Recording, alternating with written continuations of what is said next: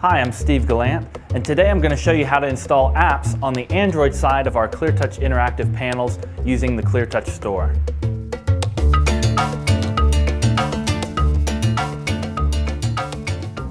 On every ClearTouch interactive panel, we have a built-in Android operating system. The easiest way to get there is by pressing the Home button on the front of the panel.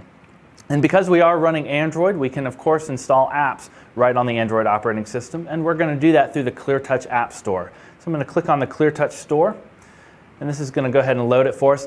And as you can see, this is actually a curated App Store experience. So that just means it's built upon the Google Play Store, but we've gone through and made sure there's no apps with viruses as well as uh, things that contain adult content. So all of those have been taken away, especially for that K-12 environment. Uh, but you're going to find lots of different applications. Uh, if you don't see one that you need and we haven't put it on there yet, there is an application request at the bottom of the page there.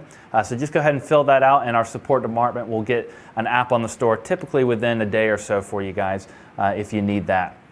But we're going to go ahead and install an application on here. So we're just going to select the Chrome browser.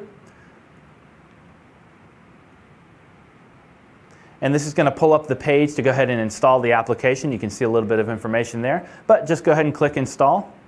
It does require you to have internet access to download the application.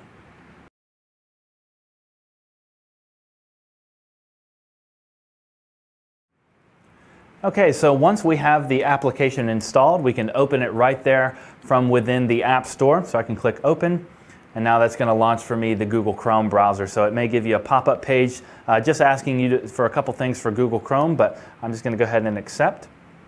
And now we launch into Google Chrome.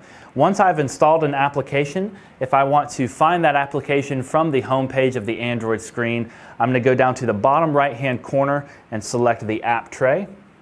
And that's going to show all of my installed applications, and there we can see Google Chrome installed amongst all the other preloaded applications on there. So that's just a quick and easy way to install all of your Android apps on the ClearTouch interactive panels.